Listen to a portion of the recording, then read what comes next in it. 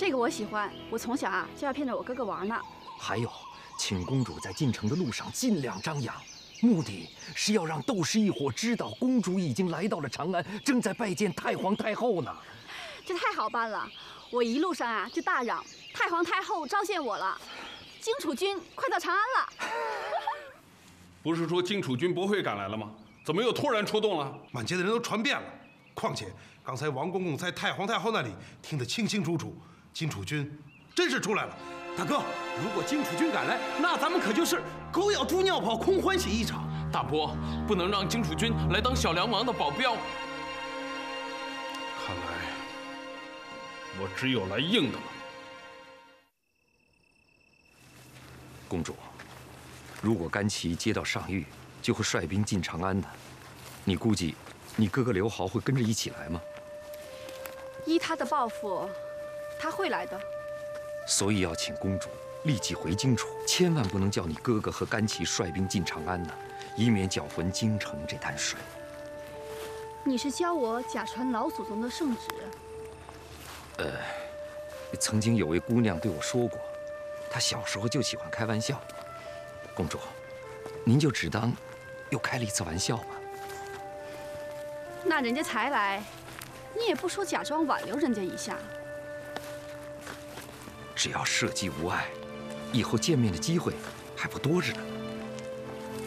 对了，今天太皇太后还在问我驸马的事情，你猜本宫是如何回答的？公主，这都什么时候了，我哪有心思猜这种事情？不行，你必须得猜。姑娘，啊不，公主，你是要急死我吗？你不猜是吧？那我就告诉你，我跟老祖宗说，父王和哥哥看上的，我一个都看不上。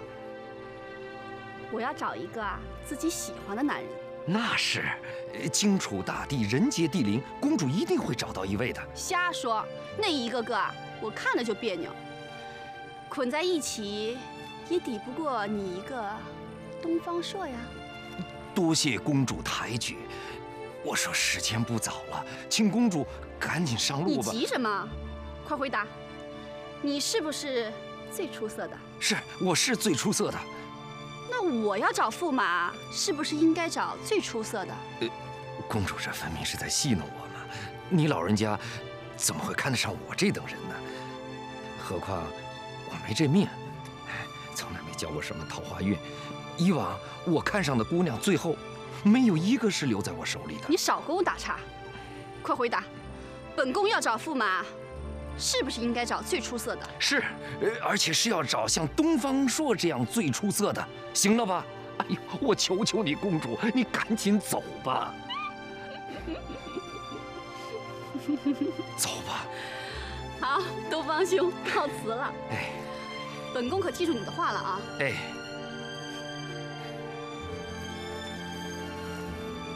我可记住你的话了。哎呦，谢公主。本宫可记住你的话了啊。哎，公主，一路保重啊。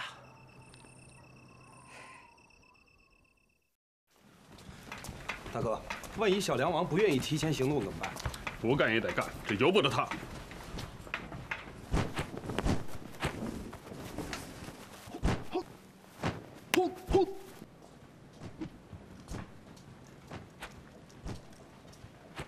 丞相到。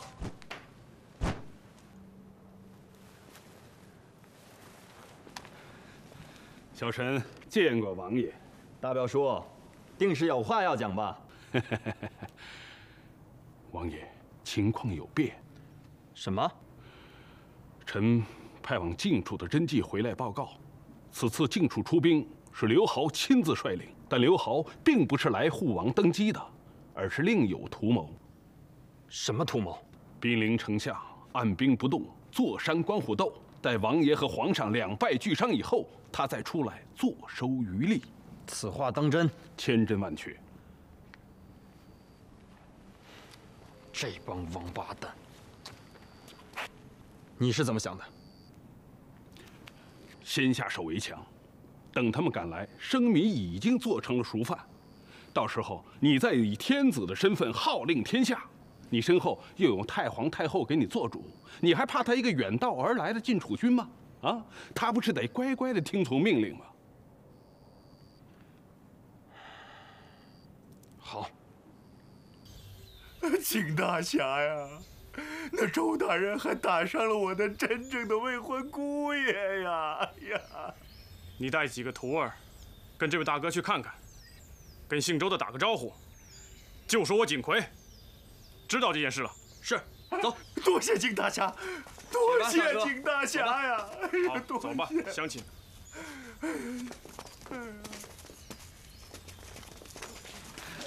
好啊，好，景奎大侠，早就听说你这是二衙门，真是名不虚传呐。东方朔，你又来了，请吧。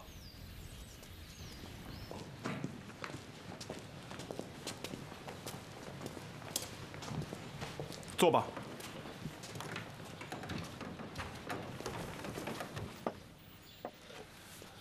如果你今天来还是为了那件事的话，还是请你免开尊口。哎，大侠，你误会了，我是专程来登门致谢的。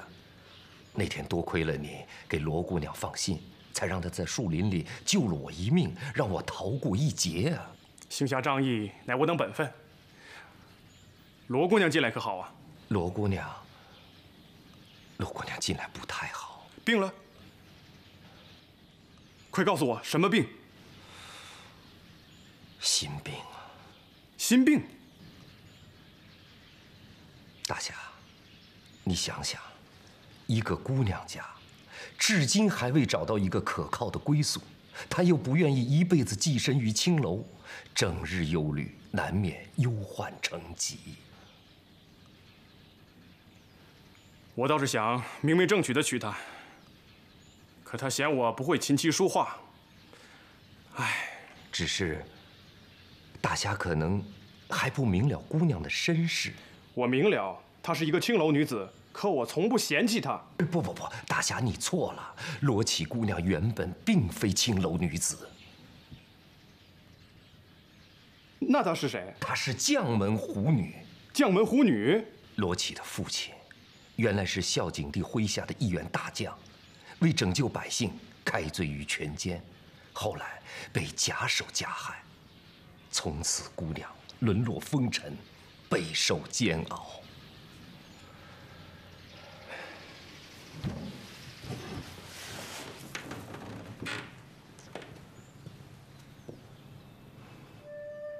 原来是这样，大侠。罗绮姑娘之所以留寄青楼，忍辱偷生，就是为了有朝一日能为自己的父亲平反昭雪，报仇雪恨。她曾发誓，不管是谁，只要能帮助她完成她的夙愿，她就会以身相许，一辈子伺候她。你这是什么意思？大侠，这不是我的什么意思，这是罗姑娘的意思，她就会嫁给他，做他的老婆。此话当真？哎，可惜啊，姑娘空守了这么多年，竟没有遇上一位为她了此心愿的人。她不会白等的，我会帮助她了此心愿。可是她要杀的，并非窦王孙一人，而是窦氏团伙。大侠，现在正是机会，他正需要你手下的两千多弟子配合皇上一起杀进城去。罗启在哪儿？我不信他让我帮皇上。哎，大侠，罗姑娘，请吧。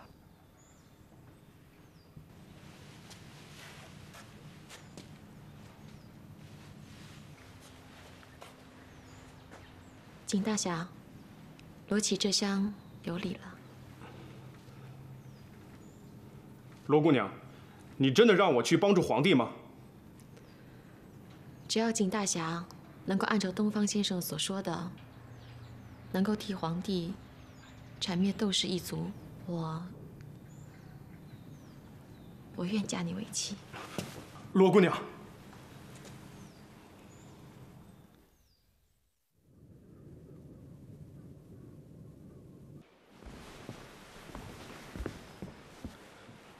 既然已经算定那姓窦的就要动手了，为什么直到现在？那高人的援军还不见一兵一卒？是啊，怎么一点动静都没有呢？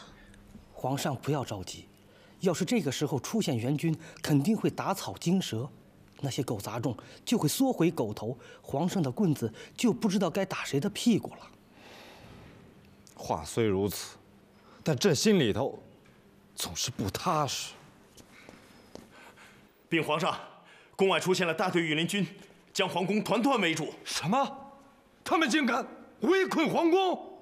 窦勇说，城里出现了大批匈奴奸细，他们这是为了加强皇宫安全。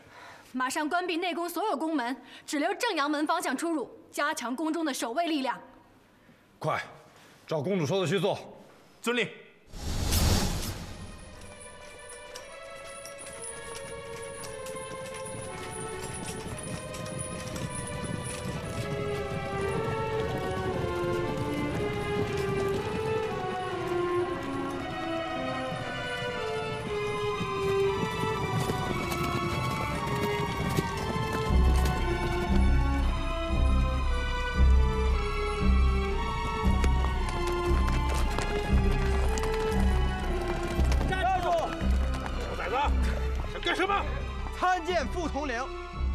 王千岁从代州亲自押了两名匈奴酋长，要押进宫去面交皇上审问。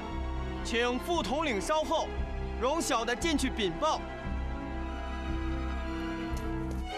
禀皇上，窦勇和小梁王押着两名匈奴酋长，说要面见皇上。小梁王，他什么时候进京的？早就到了，一直住在窦王孙的丞相府上。住在窦王孙府上。他们带了多少人来？他们有一百名全副武装的卫兵。不行，不能让他们进来。他们口口声声说不见皇上不走。皇上，要不要看看那个高人的锦囊里是怎么写的呀？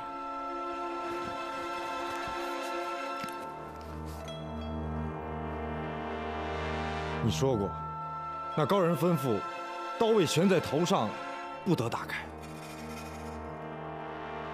那眼下，刀已悬在头上了吗？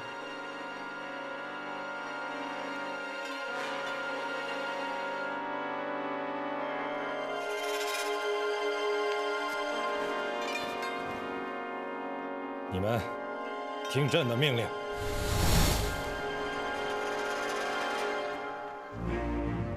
臣卫青拜见王爷千岁。免礼。魏将军，皇上可曾答应召见？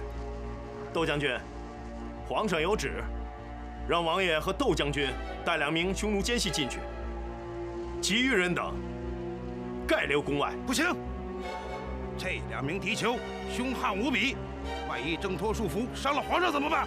皇上的安全自有本将军负责，请窦将军不要违背圣意。我这正是为了皇上的安全。走，请将军自重。卫青，你再敢阻拦，我就代皇上先斩了你这个奸贼。皇上有旨，宣小梁王和所有随从一起进宫。这这怎么行啊？统领大人，皇上的圣旨，你总不会抗旨不遵吧？王爷请。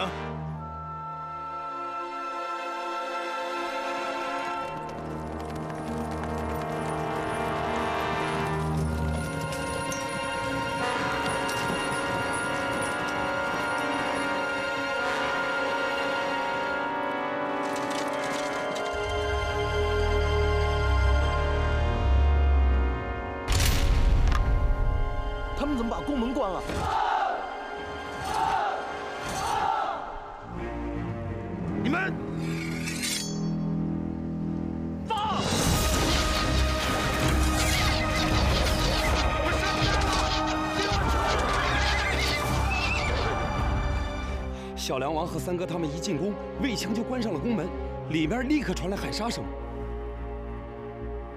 他他提前动手了。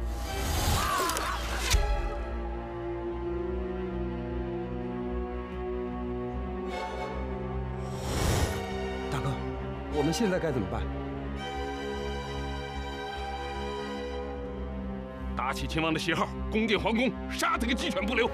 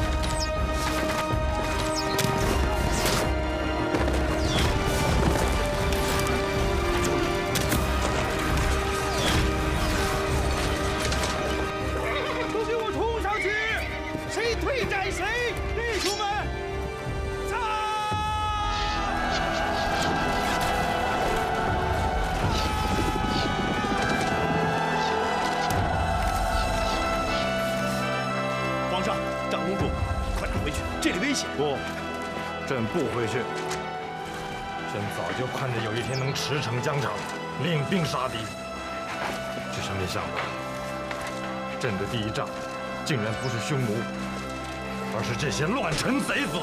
回禀，末将在。去把小梁王跟窦勇的首级砍下来，挂在宫墙上示众。诺。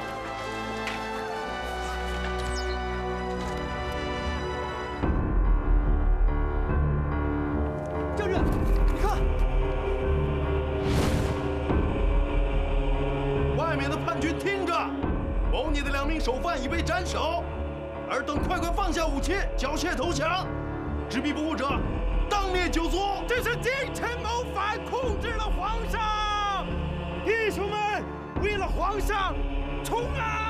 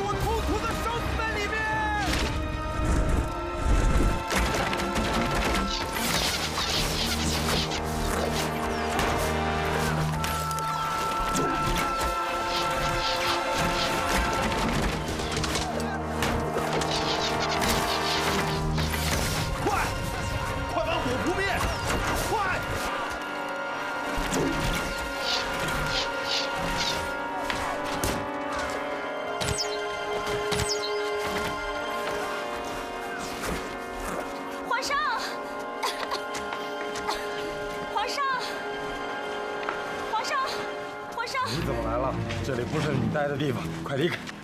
皇上，我们投降吧，保命要紧呀！你混账！我大汉朝只有战死的皇帝，没有投降的皇帝。你给我离开！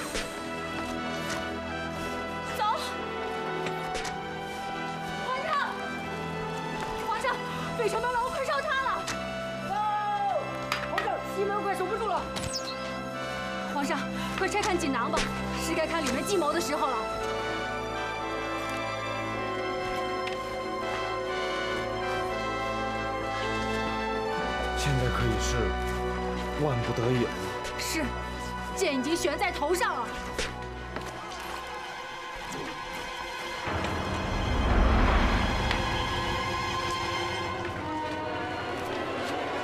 一张白绢。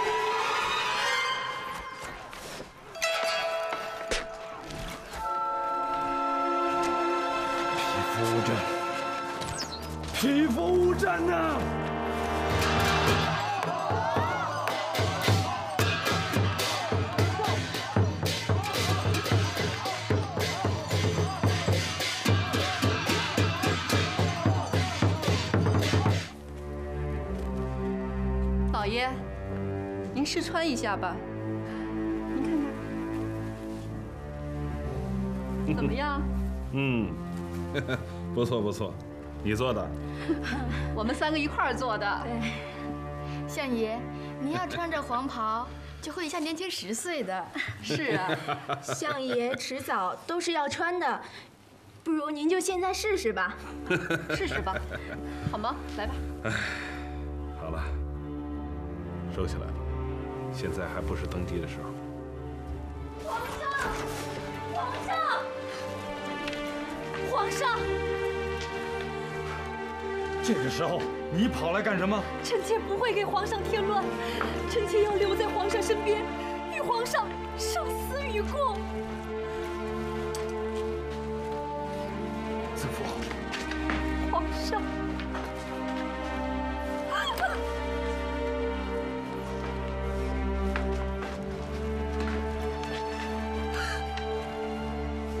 卫青，卫青，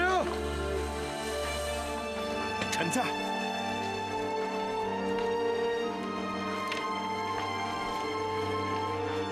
这座皇宫怕是保不住了。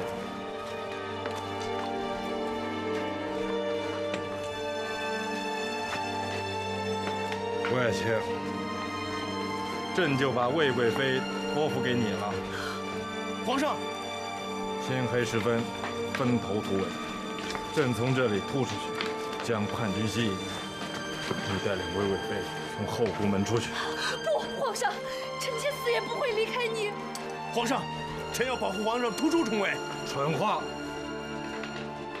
朕可不愿看到朕与子夫，还有肚子里的孩子同归于尽。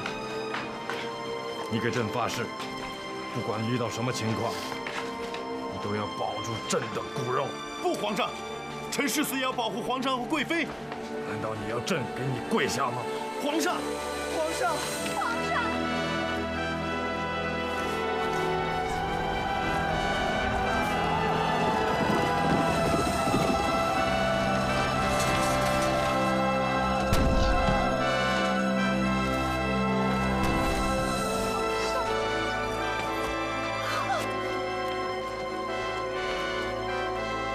请停止，臣在。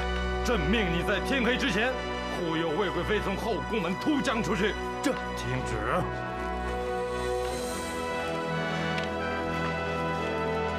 臣领旨。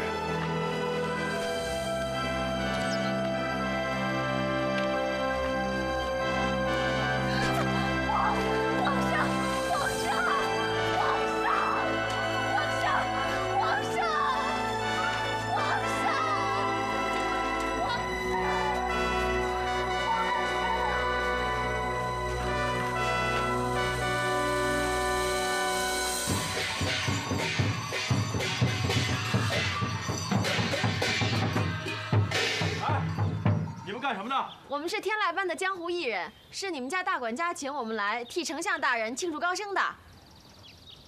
高升的。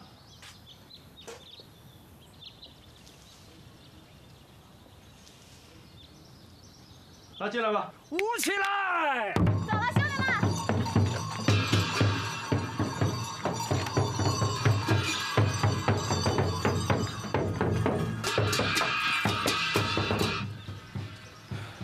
窦猛还没有消息？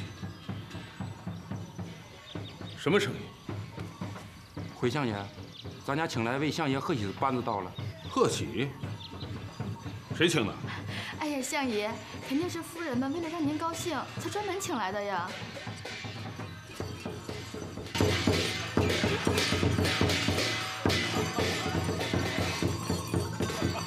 将驾到，寿王称臣。好啊，寿王称臣。好，好，好，开场。别动！再动，姑奶奶要了你的狗命！给我上！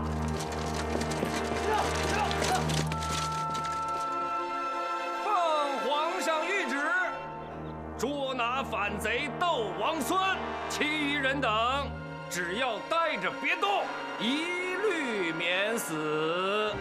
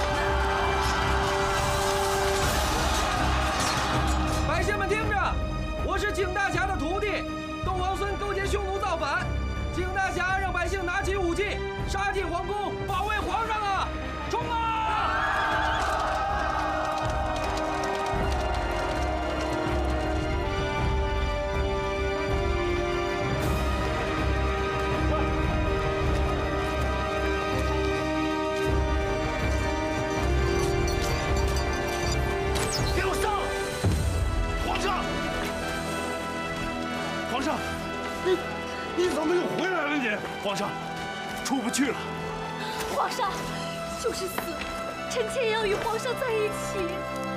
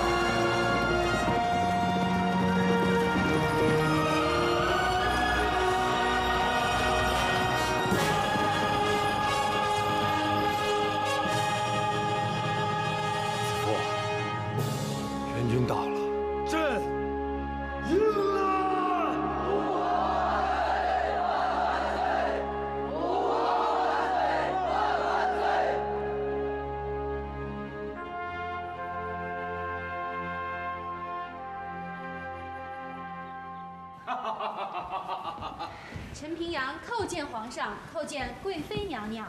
姐姐请起，都免了。皇姐啊，你原来答应过朕的一件事情，现在该兑现了吧？什么事儿啊？姐姐不记得了？请皇上明示。当初你说过，只要平定斗士，你就将你身后那位隐身高人引荐给朕。现在斗士已平，你应该把他交给朕了。我还以为是什么呢？就这么点小事儿啊？这可不是小事儿。这次平定斗士，他功不可没。好，既然他功不可没，那皇上打算任他一个什么官儿啊？朕任他个护国军师。不行，护国军师不是实职，至少得有官位才行吧？那子服，你来说说，朕应该任他一个什么样的官职才好？臣妾不懂，不过臣妾以为，起码也应该在八百担以上。好，那朕就任他个大中大夫。东方朔谢皇上大恩。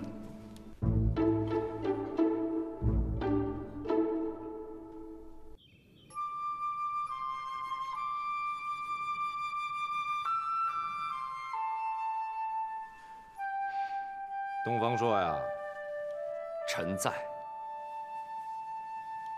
你给朕的锦囊妙计，为何只是一片空白啊？你到底想告诉朕些什么？皇上容禀，长安形势瞬息万变，当时臣也无法预料会出现什么情况。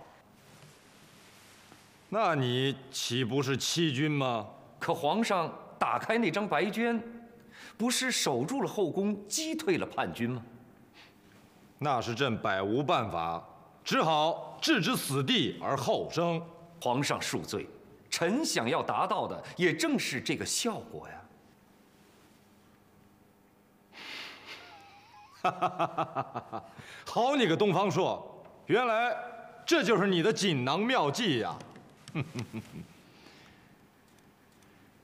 宣，皇上有旨，宣车骑校尉锦葵告命夫人罗绮觐见。启奏皇上，锦葵和罗绮感谢皇上赏识，只是他们恐怕无缘消受，现在已经双双赶回乡下景家园去了。皇上，这这不辞而别，成何体统啊？皇上，臣有本奏。你说，景葵一民间粗人，不服王道教化，不辞而去，公然藐视皇上，实属大逆不道。臣请将景葵捉拿定罪。万万不可！皇上，景葵擒贼救驾，功不可没啊！景葵救驾之功，皇上已有封赏。他公然抗旨，就该治罪。就算这样，那也可以将功抵过嘛。无知村妇，将功抵过也应该是先有过而后立功，岂能仗着有功而后犯罪之理？你才是不讲理的倔驴！谁先谁后有什么两样？如果你先救了一个人，而后就可以随便杀一个人吗？反反正不能听你倔驴子的，不能治锦葵的罪。你无知村妇，你不近人情，倔驴子，村妇，倔驴子，倔驴子，倔梨子。骂呀！继续骂。刚才骂的很好啊，很有文采嘛。身为大臣，在朝堂之上，犹如泼妇骂街，成何体统？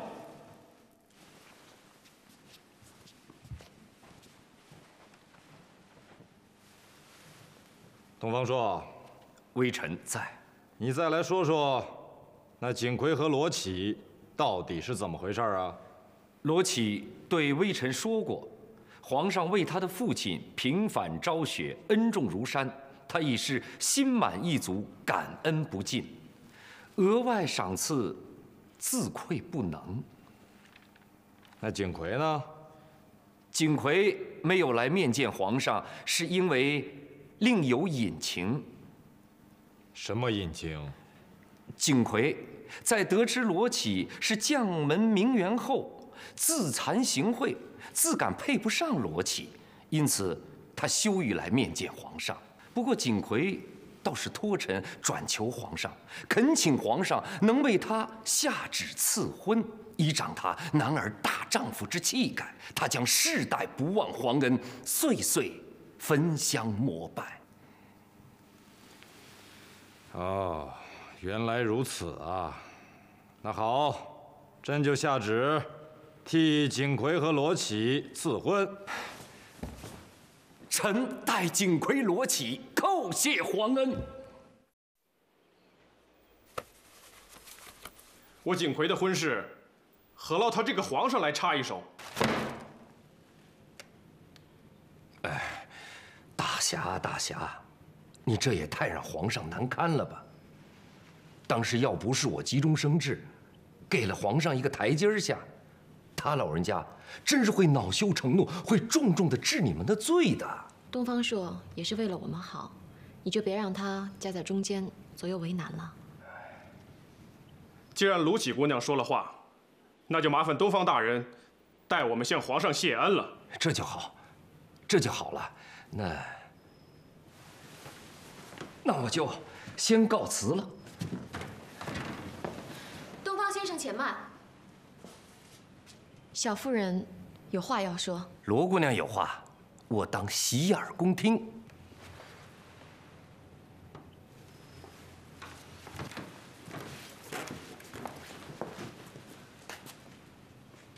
东方先生，小夫人和锦葵得罪先生了。哎哎，这这是干嘛呀？又不是过年过节的，这是拜哪门子？来来来来，二位快快请起，快快请起。东方先生，小夫人和景葵合伙演戏，一直欺瞒着东方先生。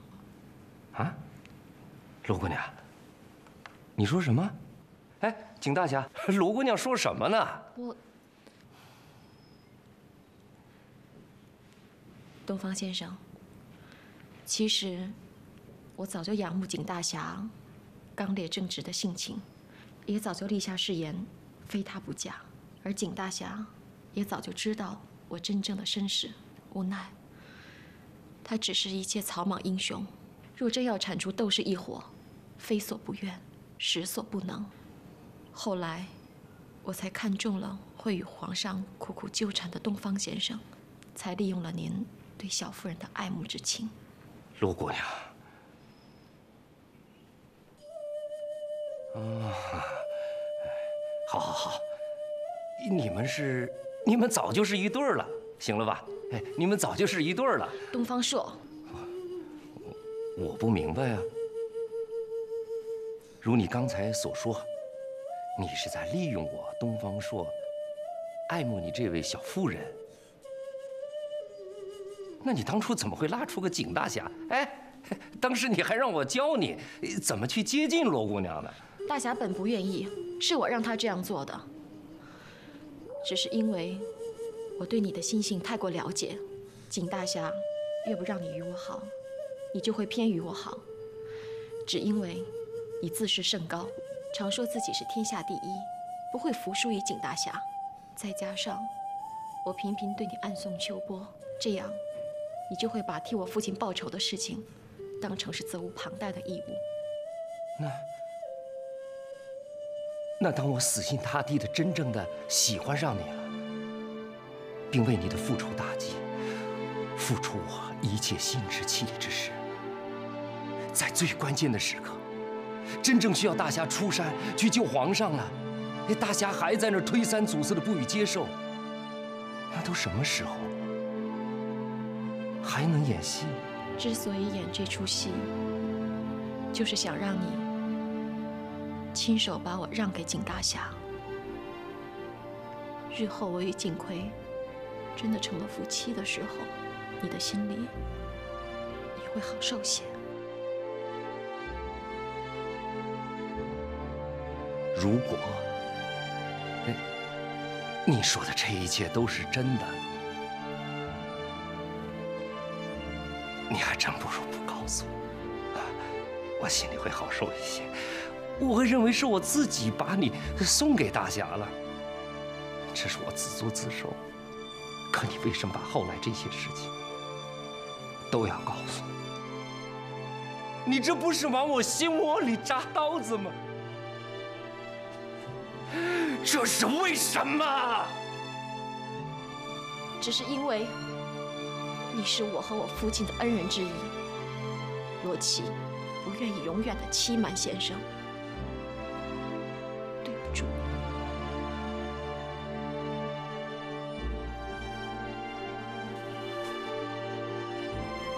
哈哈哈。哈哈哈哈哈！哈哈，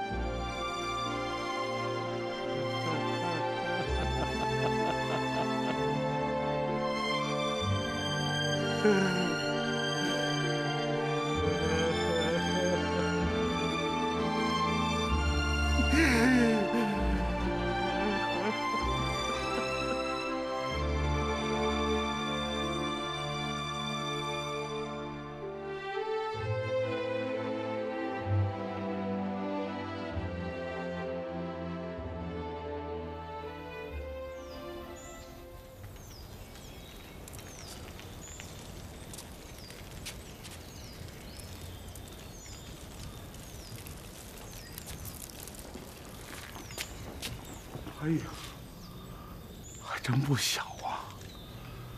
跟俺山东老家那衙门都差不多了。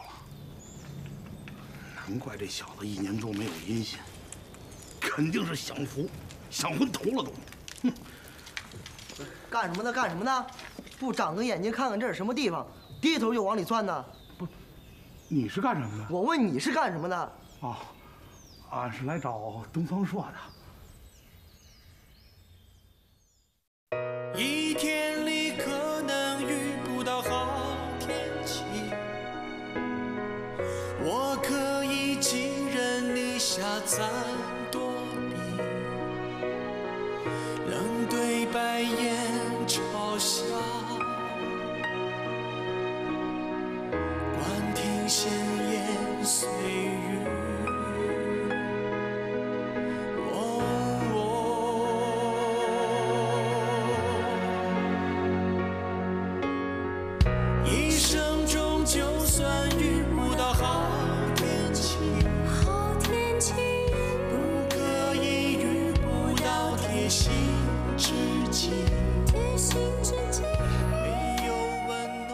有人故意杀死了窦王孙，好杀人灭口，让他死无对证，再来诬陷太皇太后啊！东方朔，你这狼心狗肺的东西，俺今天问宰了你不可！来人呐！来，把东方朔这个狂徒推出去，午时三刻斩首示众。